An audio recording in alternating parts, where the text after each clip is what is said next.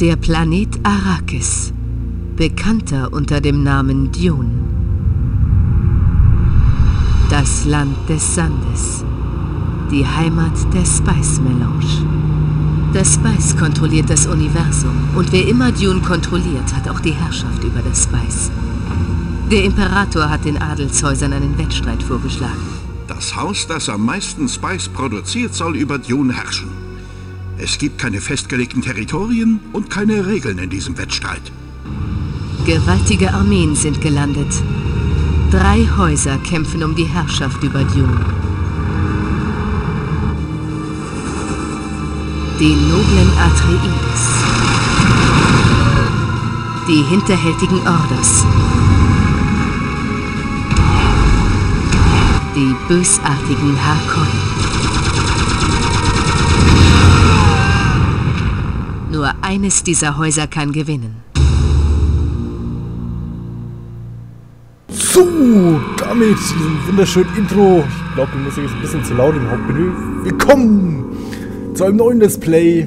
Zwar von Dune 2000. Nachdem Tiberium Sun sich ja immer noch nicht irgendwie aufnehmen lässt mit nichts. Ja, Dämon will jetzt gleich schreiben, äh, aber wenn du es so und so machst, dann geht es vielleicht. Ja, ähm, ich spiele hier die Version von Dings, äh, von Abandonia.com, weil die normale Version irgendwie gar nicht mehr läuft in der 64-Bit. Also, und habe da die Dateien von der deutschen Originalversion so reinkopiert. Das läuft jetzt ganz gut, mehr oder weniger. Es läuft auf jeden Fall. Ne? Es ist ein bisschen Englisch drin, aber die Videos und so sind auf Deutsch und auch die Texte. Und ich hoffe, das bleibt auch so. Und ich hoffe, ich nehme jetzt auch gerade auf, weil ich musste meine Fraps, äh, Fraps Counter komplett ausblenden. Sonst spiele ich jetzt nämlich zwei Stunden für den Arsch.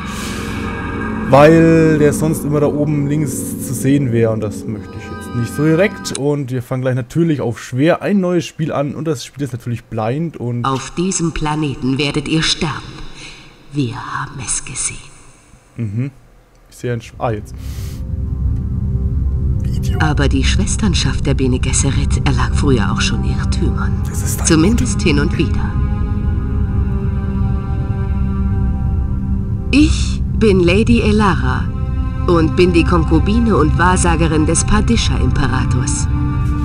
Eure Überfahrt nach Dune habe ich veranlasst. Wenn der Imperator das herausfindet, werde ich hingerichtet werden. Er ist kein sehr mitleidsvoller Mann. Ihr seid hier aufgrund der Prophezeiung. Meine Schwesternschaft hat eure Abstammung und eure Zukunft genau untersucht. Wir haben euch sterben sehen, mehr als einmal. Wir haben euch aber auch gesehen an der Spitze gewaltiger Armeen, die für Frieden in Arrakis sorgen. Nur einmal.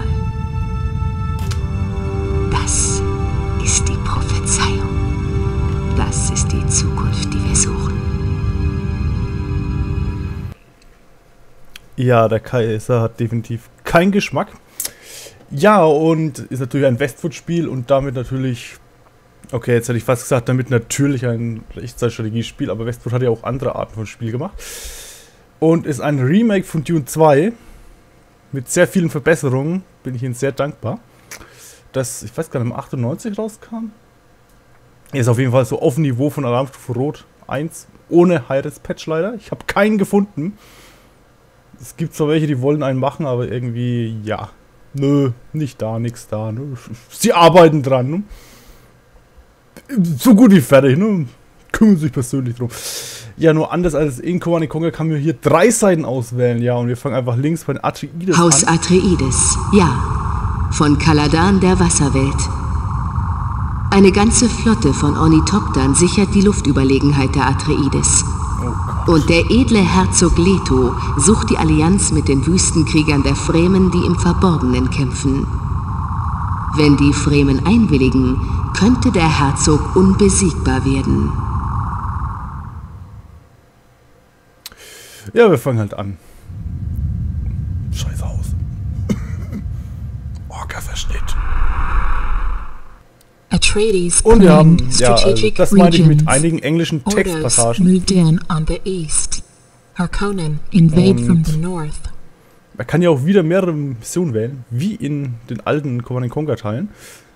Äh, ich weiß nicht, ob ich die alle spielen soll oder ich schaue da mal, ne? Ach, warum nicht? Es sind ja jetzt nicht so viele Missionen. Oh Gott, ich erzähle schon der Scheiße. Willkommen, Rekruten. Ich bin Oremo Neo, der Mentat des Herzogs. Ihr habt euch Letos Männern angeschlossen, das werdet ihr nicht bereuen. Nicht, wenn wir erstmal Dune erobert haben und wir alle durch das Spice steinreich werden, ne? Reichtum! Seid ihr etwa deswegen in diese mörderische Sandwüste gekommen? Wo Harkonnen herumkriechen, die lieber euer Blut schlürfen würden als ihre eigene Muttermilch? Wo ihr Würmer sehen werdet, die so lang sind wie hundert Männer und ihr euch vor lauter Angst an Felsen klammert wie kleine Kinder? Damit ihr's wisst, wir kämpfen für den Herzog. Deswegen sind wir hier. Für den Herzog. Werden wir im imperialen Becken das Speis abbauen. Und für den Herzog werden wir das Land von den Hakonnen befreien. Das behaltet im Gedächtnis. Dann werdet ihr vielleicht noch echte Dune-Männer. Äh, für wen kämpfen wir jetzt? Äh, egal. Übungseinsatz 1. Ja, ähm, bauen Sie im imperialen Becken Spice ab. Im imperialen Becken. Ähm, errichten eine Spice-Raffinerie und verteidigen Sie gegen die Hakonnen-Truppen, die Sie vereinzelt dagegen aufhalten. Setzen Ihre Truppen wohlüberlegt ein, denn Sie werden keinerlei Verstärkung bekommen. Also auf Deutsch sagt, bau ganz viele Einheiten fahr über den Gegner drüber. Funktioniert in jedem Command Conquer, in jedem, ach, jedem Westwood-Spiel würde ich ja sagen, aber Westwood hat auch nicht Echtzeit-Strategiespiele gemacht und Westwood gibt es ja inzwischen nicht mehr. Egal. Lernen Sie die Feinheiten des Speiserbaus. Denken Sie daran, genügend Silos zu bauen. Ja, Silos. Ach, ich hab's vermisst. Sie das kostbare Gewürz lagern können. Wenn Ihnen der Lagerraum ausgeht, geht alles, was das Spice, das Sie sammeln, unwiederbringlich verloren. Gebäude, die Sie ohne Betonfundament errichten, zerfallen durch die Erosionskräfte der Wüste sehr schnell, wenn Sie nicht pausenlos reparieren. Einsatzziel, bauen Sie im Spice im Wert von 2500 Solaris ab. Ah, Solaris. Daher habe ich das. Ha. Wenn man Forsaken-Videos geguckt hat, der weiß jetzt, was ich meine. Viel Glück. Es folgt eine Beschreibung der Einheiten, die Ihnen zur Verfügung stehen. Ja, was habe ich denn? Sammler. Ja. Man merkt schon, sehr neues Spiel mit sehr hochauflösenden Grafiken. Voraussetzung, schwere Waffenfabrik. Bewaffnung keine Reichweite, Strich, Geschwindigkeit 12 km/h. Das gefällt mir, dass man hier so, so, so nutzlose, die, Informationen sind völlig nutzlos, aber sie sind schön. Panzerung schwer. Sammler sind resistent gegen Handfeuerwaffen und in gewissem Maßen gegen Sprengstoffe. Beschädigen kann man sie am leicht mit Raketen oder großkalibrigen Waffen. An die Raffinerie wird auch ein Sammler ausgeliefert. Und die KI ist natürlich, also die Sammler-KI, wie in jedem Westwood-Spiel, hochentwickelt. Sie fährt nicht irgendwie durch feindliche Einheiten oder Basen. Nein! Niemals! Beton. Voraussetzung Bauhof. Einsatzzweck Gebäude oder Beton von. Gott, ich muss vorlesen, das wird doch nichts. Betonfundament zerfallen schnell. Die Gebäude lassen sich zwar wieder reparieren, aber wenn ein Bauwerk nicht komplett auf Beton errichtet wird, erleidet es permanente Beschädigung durch die Additionskräfte der Wüste. Ja, wir müssen so Betonplatten bauen und darauf können wir dann Gebäude bauen. Bauen. Mhm. Im Gegensatz zu Dune 2 müssen wir aber nicht eine Platte neben die andere bauen, sondern es sind gleich vier Felder. Auch wenn da jetzt gerade 8 zu sehen sind, aber darum geht es nicht. Panzer und Mittel. Betonplatten können fa mit fast allen Waffen beschädigt werden. Beschädigte Betonplatten können sie nicht mehr reparieren. Ja.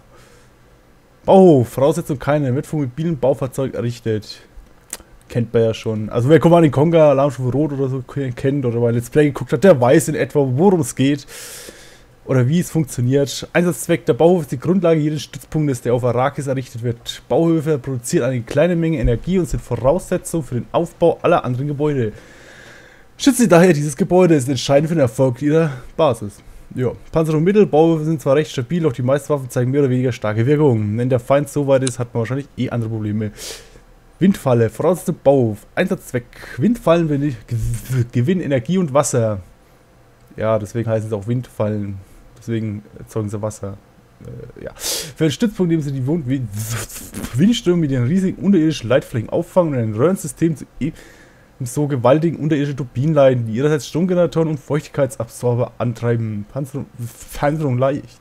Windfallen können mit fast allen Waffen beschädigt werden. Ja, billige Kraftwerke halt. Oh Gott. Ich bin gleich fertig. Oh, zum Glück! Oh Gott. Voraussetzung Windfalle Raffinerie, ja. Ja, kennt man ja. Wie in Command Conquer gesagt. Es basiert ja auch darauf. beziehungsweise Command Conquer basiert auf Dune 2, äh, egal. Als Zweck, die Raffinerie ist die Grundlage der gesamten Spice-Produktion auf Dune. Sammler transportieren das abgebaute Spice in die Raffinerie, wo es verarbeitet und Bargeld umgesetzt wird und blockieren sich gegenseitig den Weg. Das fertig verarbeitete Spice wird zur Lagerung automatisch auf die verfügbaren Silos und Raffinerien verteilt. Mit dem Bauern der Raffinerie wird automatisch auch sofort ein neues Sammler in Dienst gestellt. Auslieferung per Carry-All-Transporter. Panzer und Mittel, Raffinien können mit fast allen Waffen beschädigt werden. Praktisch jedes Gebäude kann mit Waffen beschädigt werden, egal was für eine man benutzt. Das dauert nur länger. Silo, Voraussetzung Raffinerie. Ja. Wer mag sie nicht? Die guten alten Silos. Wie in Alarmstufe Rot klein. Einsatzzweck. Ein Spice-Silo ermöglicht es dem Spieler 1500 Einheiten Spice zu lagern. Hier erfährt man sogar, wie viel man einlagern kann. Aufbereitetes Spice wird automatisch gleichmäßig auf die verfügbaren Silos verteilt. Wenn die Menge des geernteten Spice die Lagerkapazität des Silos überschreitet, geht die überschüssige Menge verloren. Wenn eines ihrer Spice-Silos bei einem Angriff zerstört oder erobert, wird das dort gelagerte Spice auf, die, also auf ihre anderen Silos verteilt, sofern dort noch Platz ist. Panzerung leicht, Spice mit fast allen Waffen. Es kann mit allen Waffen. Ach, egal. So, und man kann, klar, man kann Rahmen ziehen. Ah. Ja, ich werde irgendwann Dune 2 auch spielen. Ja, und die Geschwindigkeit ist recht hoch, glaube ich fast. Ich muss mal kurz hier in die Optionen, ey. Scrolltempo drehe ich mal ein wenig runter. Spieltempo vielleicht auch mal ein Stück. Ja, und man kann hier im Gegensatz zu Dune 2 schon Rahmen ziehen und den Einheiten Nummern zuweisen. Das ist schon mal ein sehr schöner Fortschritt. Auch die Auflösung ist ein bisschen besser. Hier natürlich die ganzen reparieren, verkaufen, bewachen und... Oh, oh das, das drücke ich jetzt lieber nicht. Zurückziehen, ich habe es glaube ich schon gedrückt. Egal. Ignorieren wir einfach. Äh, Uff. Äh, wo war ich? Irgendwie, keine Ahnung, Icons. Und ja, das sind Betonplatten. Da müssen wir unsere Gebäude drauf bauen. Beziehungsweise müssen, glaube ich, nicht, aber sollte es. Keine Ahnung, ich spiele hier blind, ne? Ich habe den zweimal angespielt. Ich habe dann noch irgendwo hier den anderen Teil, die Fortsetzung dazu liegen. Äh, wie hieß der? Power of Dune? Ja, das ist dann der dritte Teil. Dune 1 hat nichts damit zu tun. Auch wenn Dune 1 es vermuten lässt, Dune 1, Doom, Doom, Doom 1, hm. Dune 1, Dune, wie auch immer. Das ist von einer anderen Herstellerfirma, kam aber fast zur selben Zeit raus und ich glaube in Dune 2 wird sogar, also im Handbuch, die andere Firma und alles erwähnt, Dune 1. Ich weiß nicht, wir haben noch irgendwo Original für den Amiga hier rumliegen, irgendwo, irgendwo, ne? Und ja, wir haben hier unsere super überlegene leichte Infanterie und unsere ja, die billigen Einheiten, die man immer so hat am Anfang. So, hier bauen wir kein Tiberium oder Mineralien ab, hier bauen wir Spice ab, wie bereits aus Dune bekannt, wenn jemand den Film kennt. Soll ich vielleicht erklären, was Dune ist, für die Leute, die es nicht kennen? Gibt es Leute, die den Film nicht kennen? Oder das Buch oder wie auch immer? Nein, gibt's nicht. Ihr kennt das jetzt alle bestimmt einfach mal. Und mir ist verdammt warm, weil es hier verdammt warm ist und ich muss was trinken.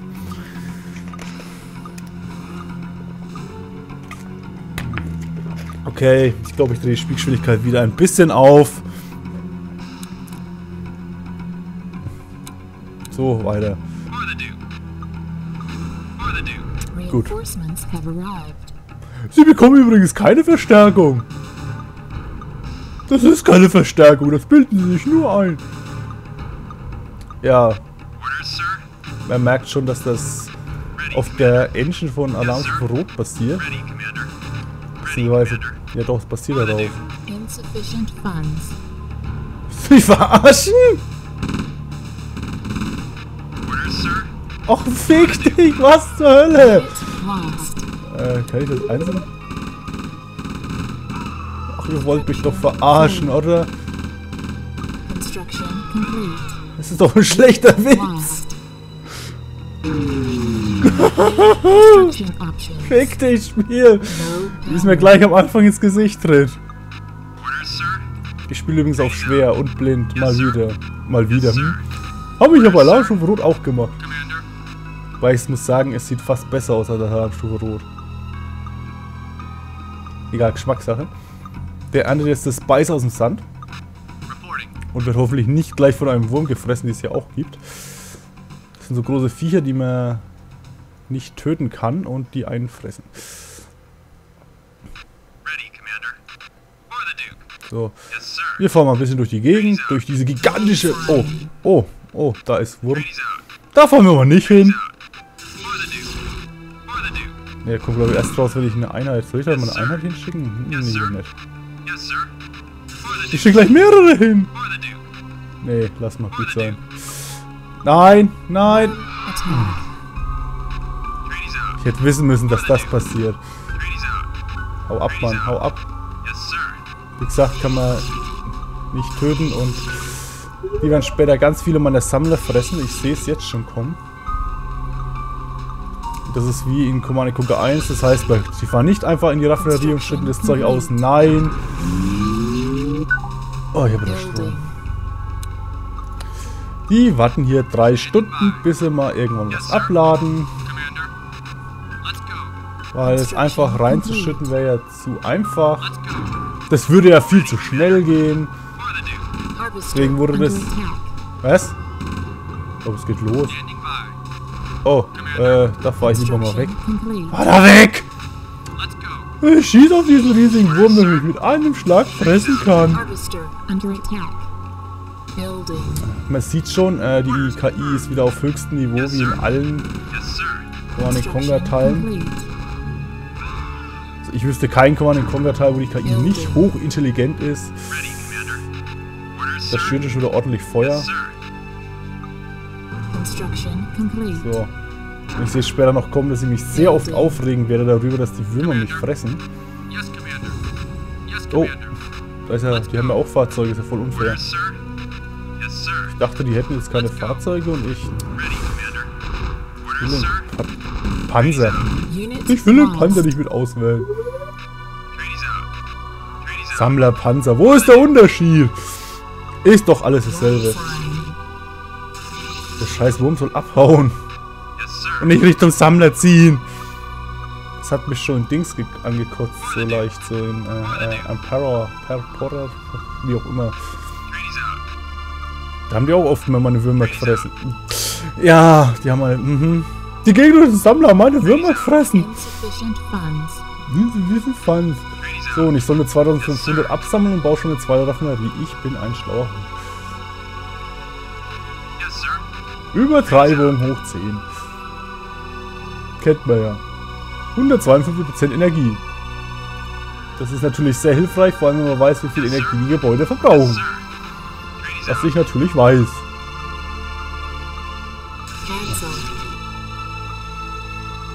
Nee, ich kann ja gar nicht so viel in einer Fabrik lagern. Ach, bauen wir mal ein Silo. Sie benötigen Silos. Oh Gott. Ich hoffe, die haben ja auch so eine nervige Meldung eingebaut. Ach. Ist es ja schön, dass die Sammler sich so viel Zeit lassen. Ich hab's ja auch gar nicht eilig. Oh, hier kann ich nicht hinterher. Aber schön, wie es aus dem Boden kommt. Jetzt habe ich noch 144 Prozent.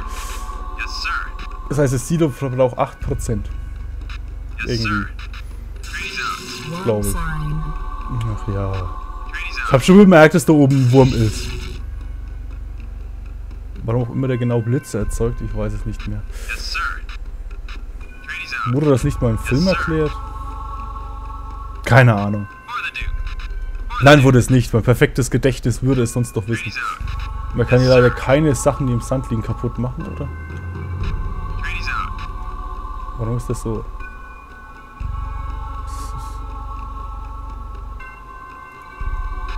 Ich weiß nicht, bei Dune 2 gibt es so Infanteriefelsen laut Anleitung. Könnte dasselbe sein. Keine Ahnung. Oder auch nicht, was weiß ich. Ich habe kein Fahrzeug um auszuprobieren. Doch, ich habe ein Fahrzeug. Ah, da kann nur Infanterie hin. Okay, dann gibt es das hier auch. Schön zu wissen. Es ist doch gut, dass ich Dune 2 die Anleitung gelesen habe. Ich konnte zwar nicht spielen, weil die Diskettendefekt sind, aber es ist... Ich konnte die Anleitung lesen, ist doch auch schon mal was. Es hilft, ne? War schneller. Hast doch sechs Räder? Bin mir nicht so sicher, was das Ding hat. Das könnte wer weiß was sein. Ja. Wie in Command Conquer. Ich Sammler fahr so weit wie möglich weg. Ich liebe es. Ich liebe es einfach. Ich finde es auch schön, dass es niemals irgendwie geschafft haben, Sammlern vernünftige KI zu geben. Aber sie haben es alles einfach gelöst, indem sie im letzten Teil einfach gar keine Sammler mehr eingebaut haben. Ein Grund für mich, es nicht zu kaufen. Ach komm, sei ruhig. Komm schon, ich habe alles aufgedeckt, ich habe alles vernichtet. Jetzt fahr endlich rein und lass mich gewinnen. Die erste Mission ist jetzt nicht so spannend. Und die späteren Missionen werden auch nicht spannender, aber darum geht es nicht. Und schön, dass der Wunder hinten eingesperrt ist. Komm schon, gewinnen.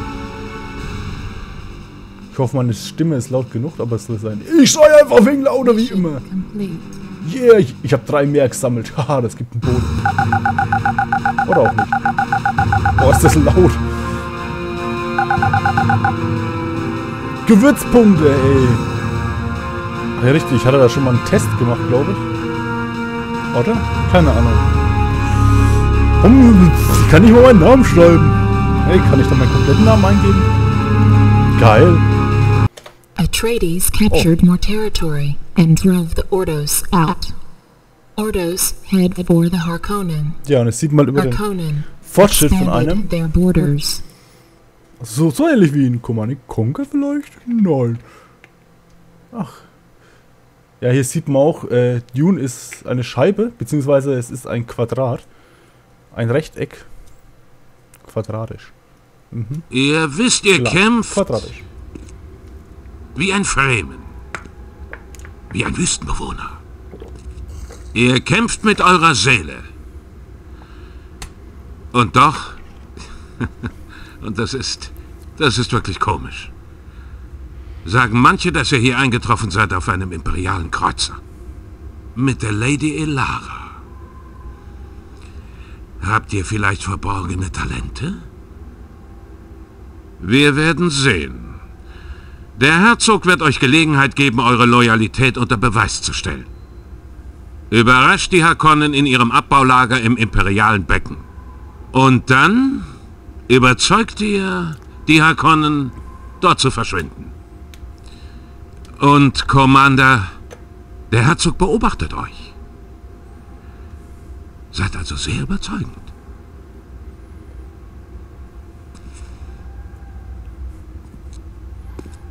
Er hat eine Ansichtskarte aus Solingen. Der musste jetzt einfach sein. Übungseinsatz 2. Ja, dringen Sie das imperiale Becken schon wieder ins Becken ein und bauen Sie dort unsere Streitkräfte aus, oh, bis sie stark genug sind, die Akonnen-Truppen vor Ort auszuschalten. Ich sag ja, ganz viele Einheiten bauen über den Feind drüber fahren. Die Akonnen halten Verstärkung aus der Luft, also seien Sie auf der Hut. Nutzen Sie die Radaranzeige des Außenpostens, um Angriffe aus unerwarteten Ecken frühzeitig zu entdecken. Ecken, Decken, das reimt sich. Seien Sie vorsichtig, wenn Sie Spicer bauen. Die im Sand verborgenen Spice-Hügel sind zwar eine gerne gesehene Quelle für Spice, können aber Einheiten, die nichts anderes rüberstürmen, in einer gewaltigen Explosion beschädigen oder gar vernichten. Cool. Ich spreng mein eigenes Spice in die Luft, ich sehe schon kommen. Einsatzziel zerstören Sie alle Hakonnen-Truppen. Viel Glück, es folgt der Beschreibung der neuen Einheiten Gebäude, die zur Verfügung stehen. Leichte Infanterie, yeah, die ultimative Waffe, mit dem wir Panzer töten. Das funktioniert hier bestimmt auch. Dass man Panzer einfach mit Infanterie totschießt, weil warum auch nicht. Voraussetzung Kaserne, Bewaffnung. Die leichte Infanterie besteht aus gering gepanzerten Fußtruppen. Bewaffnet mit 9 mm Stummgewehren. Yeah. Leichte Infanterie ist besonders wirksam gegen andere Infanterieheit und ungepanzerte Fahrzeuge. Nein, auch gegen gepanzerte. Ich sehe es kommen. Reichweite gering, Geschwindigkeit 16 km/h zu Fuß. 16 km/h? Puh, die, die, die sind gut schnell, du. Panzerung gering, leichte Infanterie ist leicht verwundbar durch Sprengstoff, Feuer und Handfeuerwaffen. Ja, ich bin mal gespannt, wie die auf Kanonen reagieren. Och, wir stehen da jetzt einfach